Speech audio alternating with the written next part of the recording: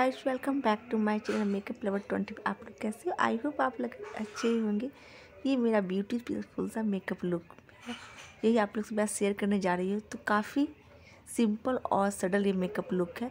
इस makeup look को आप वेडिंग सीज़न में कर सकते हो। काफ़ी खूबसूरत दिख सकती हो। चलिए स्टार्ट करते कहने, कैसे किया मैंने इस मेकअप लुक को? सबसे पहले मैंने फेस पे टोनर अप्लाई कर लिया था। अब ये मॉइस्चराइज़र मेरा है। ये मेरा मॉइस्चराइज़र जॉय का हाँ जॉय का ही है शायद। तो मॉइस्चराइज़र मेकअप से पहले स्किन का सीटम करना काफ़ी काफ़ी काफ़ी इंपॉर्टेंट होता है। तभी आपका बेस जो होता है वो फ्लॉलेस दिखेगा और बिल्कुल से ये नेचुरल सा दिखेगा। नहीं तो आपका मेक आपका बेस जो होता है ब्लेंडिंग है। जब फाउंडेशन लगाओ तो ब्लेंडिंग सही से नहीं होगा।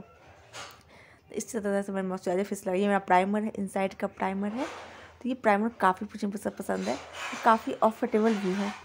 तो ये जेल बेस प्राइमर है तो काफ़ी अच्छा प्राइमर। प्राइमर लगाने से आपका स्किन पे जो ब्लेंडिंग, फाउंडेशन ब्लेंड करूँगा तो इजीली ब्लेंड हो जाता है।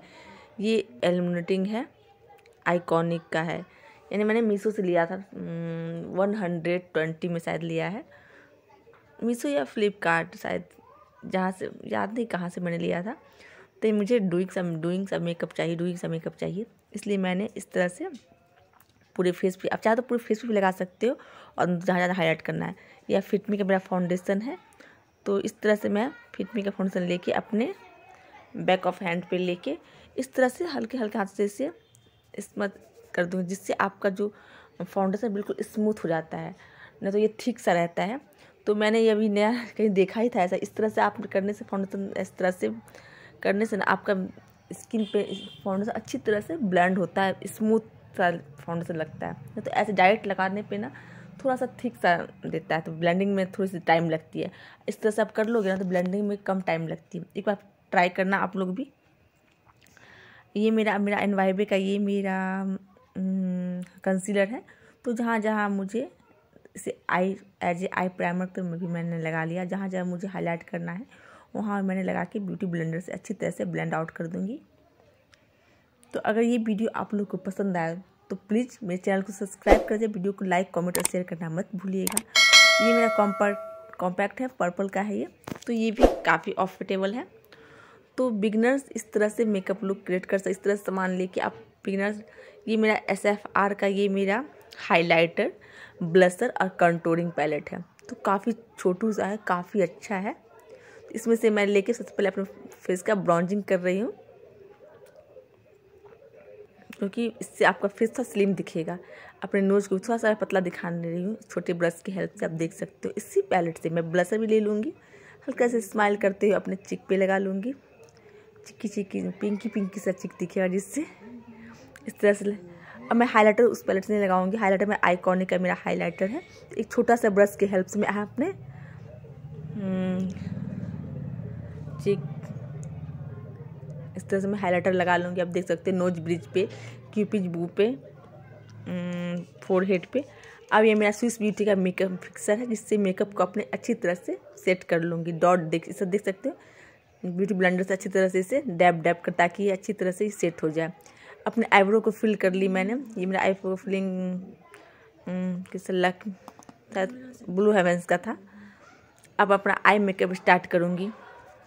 तो सबसे पहले मैंने हल्का सा ब्राउन कलर का लेके, ब्राउन नहीं, हल्का सा पिचेस हाँ पिच कलर हल्का सा है, उसे लेके अपने अपने आउटर कर्नों को लेते हुए इनर कर्नों तक जाऊँगी ब्लेंड करते हुए, देख सकते हो आप, क्योंकि मुझे आई मेकअप में बिल्कुल स्मूथ सा रखना है, अब मैं पूरी लीड पे भी मैंने लगा लिया, अब मैं उसी पैलेट से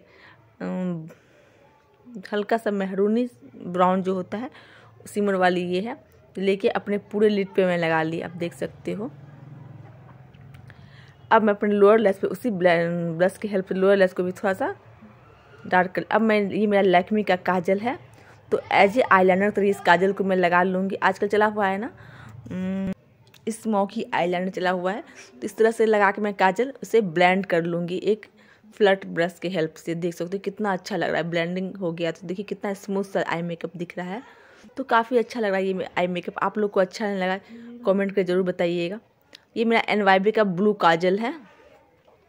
तो अपने वाटर लाइन पे ये काजल लगा लूँगी मैं। आप देख सकते हो तो काफ़ी अच्छा लगा ये मुझे काजल। और थोड़ा सा मॉडर्न लुक आए थोड़ा सा कलरफुल दिखेगा थोड़ा सा तो ब्लू अच्छा तो काफ़ी अच्छा लगा था। ब्लू आई लाइनर सॉरी काजल। अब मैं ये मस्करा लगा ली ब्लू हेवेंस का ये मेरा मस्करा था तो काफ़ी अफोर्डेबल भी आपको मिल जाएगा। ये मेरा लिपस्टिक था लिपस्टिक कौन सा था? लिपस्टिक अच्छा जो भी लिपस्टिक मैं डिस्क्रिप्शन बॉक्स में सभी का लिंक दे दूँ, जो जो मैंने मैं प्रोडक्ट यूज़ किया है, सभी का लिंक मैं डिस्क्रिप्शन बॉक्स में दे दूँगी। तो चलिए मेरा फाइनल मेकअप आप लोग देख सकते हो। पहले मैंने बाल को जूड़े बना के किया था अब मैं ओपन बाल में दिखा रही हूँ आपको। तो आप लोग को कौन सा ज़्यादा अच्छा लगा ओपन हेयर में या फिर जुड़े वाली में? तो चलिए तो आई होप ये मेकअप लुक आप लोग को पसंद आया होगा। तो पसंद आए तो प्लीज़ प्लीज़ प्लीज़ मेरे चैनल सब्सक्राइब कर वीडियो को लाइक कमेंट और शेयर करना मत भूलिएगा। और हाँ हाँ आप लोग मेरा इंस्टाग्राम फॉलो कीजिएगा। इंस्टाग्राम है इसी चैनल के नाम से मेकअप लवर ट्वेंटी नेक्स्ट भी तक के लिए बाय बाय टेक केयर